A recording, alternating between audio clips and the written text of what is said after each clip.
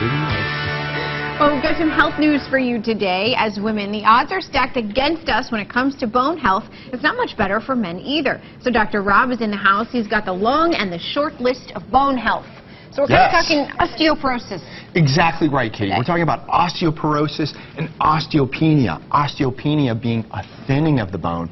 Osteoporosis being a loss of the trabecular bone network, the structure of the bone. And we have a picture to show so that you can actually see what that looks like. Now, on the left-hand side of your screen, you see normal, healthy Oh, bone. wow. See how nice and thick it is? Yeah. And very healthy and strong and vibrant. Well, the picture on the right is osteoporosis, and you see the holes in the bone. Sure. It's a weak bone. It's not strong. It's easy to break. And breaking bones in the elderly are a problem because when you break a bone, the risk for morbidity and mortality goes up after that fracture.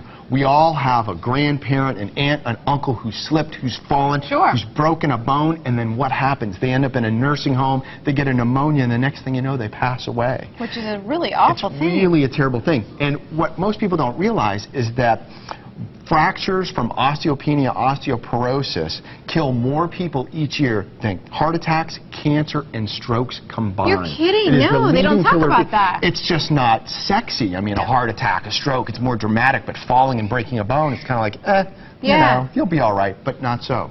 Very true. Yes. So there's things that you need to avoid that you really want to keep out of your life to if you want to have healthy bones. Number one, reducing alcohol intake. Sure. You really don't want to drink a lot of alcohol. And hey, folks, it is 2016. It is time to stop smoking. Yes. Smoking is one of the worst things you can do for your bone health.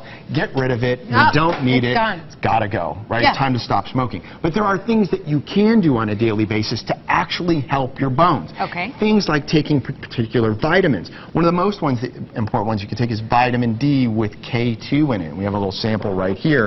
Of course, you can take that. Then there's strontium, there's calcium plus ipriflavone, and a lot of people think you just need vitamin D and calcium. Mm-hmm. But when you actually look at the studies, if you just take those two, you will still lose between 3 and 5% of your bone mass You're every kidding. year. It only slows Wow. the loss, it doesn't stop the loss. So you have to use a combination of therapies. The weight-bearing exercises, taking your vitamin D Yeah. with your K2, the calcium plus the ipriflavone, the strontium can help slow that loss.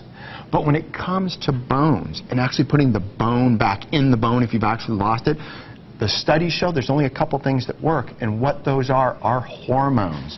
So For women, those. estrogen, progesterone, and get this, testosterone, very powerful, putting bone back into bone, and even growth hormone. And when you look at the studies, the studies show that all forms of hormone replacement therapy actually put bone back in bone at a rate of 3 to 6 percent Wow. every two years.